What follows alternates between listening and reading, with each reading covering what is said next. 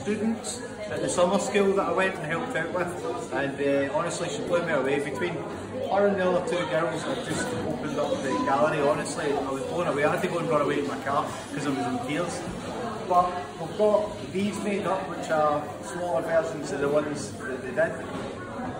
I had a gift for all the class that was going to do a raffle with, but you're the only person that's here, so I'm going to give you the other gift as well, Val. I was going to draw it. So this one's from Sharon. So Sharon got that. And this one, I was going to draw it by numbers, but this one's for me.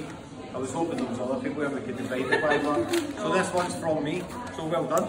And keep up the good work. Alright, Bunny. Thanks for coming.